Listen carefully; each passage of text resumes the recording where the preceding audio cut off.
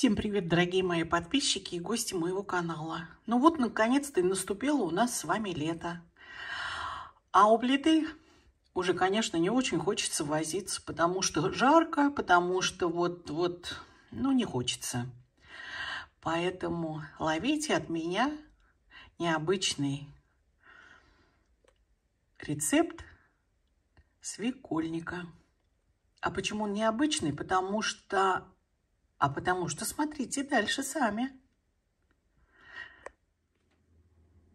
И для нашего блюда нам с вами понадобятся абсолютно простые продукты. Это отварная свекла, отварная картошка, отварные яйца вкрутую, а, свежий огурец, укроп, зеленый лук, соль, сахар, лимон и кипяченая вода.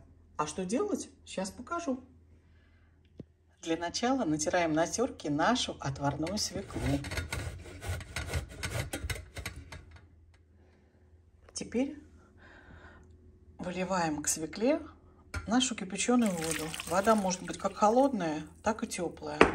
Вот на мой взгляд, одной кружки мало. Эта кружка у меня, наверное, грамм 300, а, а не большие кружки. Вот, я налила две кружки. Теперь мы это все должны посолить.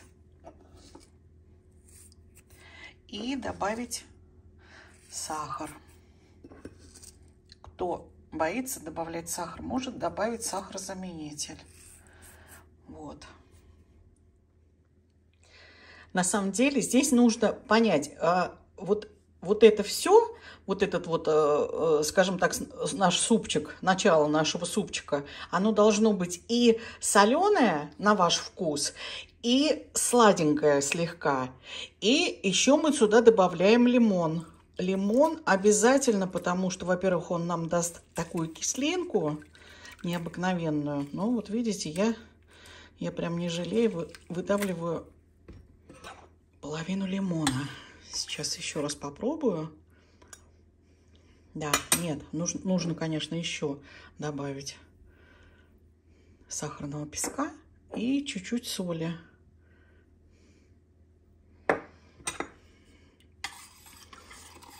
Вот это тут, вот, вот это, наверное, пожалуй, самый важный момент.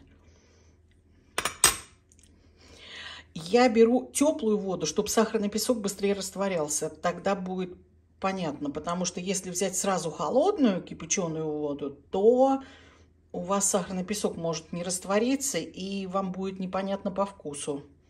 Ну, вот на мой вкус уже достаточно.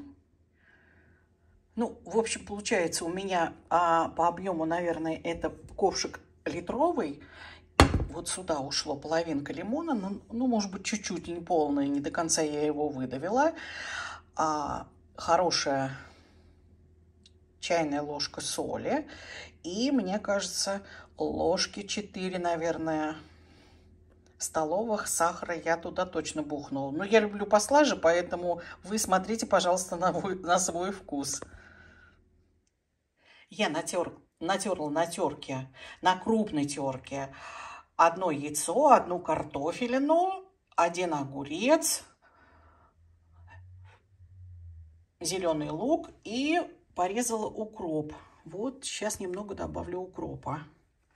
И вот теперь я все буду заливать вот этой нашей с вами красотой. С добавлением свеклы и обычной кипяченой воды. Конечно, она уже не обычная. Она у нас с вами уже является как бульон такой полноценный. Видите, у меня даже еще на следующий день осталось. Я поставлю в холодильник, и мне только нужно будет всего это натереть, подрезать, и будет у меня еще красотень. Ну что, украсили яйцом, добавили ложку сметаны. И вот такая у нас с вами красотень, ребята, получаю, получилось. Вы даже не представляете, насколько это вкусно этим рецептом я заразила всех своих подруг. А подруги уже заразили и своих мам, и Одна у меня есть подруга Наташа. Если она смотрит, Наташенька, передаю тебе привет. Она заразила своим этим рецептом свою свекровь, которая смотрела и говорит, что ты делаешь, я это есть никогда не буду.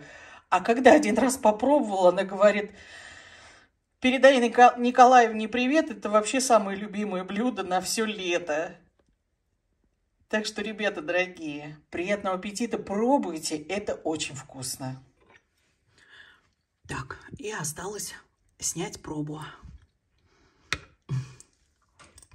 М-м-м. Это очень вкусно. Ставьте вари варить овощи. И я уверяю вас, и этот рецепт вы полюбите. Кстати, еще вы можете добавить сюда для сытости просто отварного мяса. Но в моем случае мне нравится и, и так. Ну все, дорогие мои, всем приятного аппетита и хорошего дня.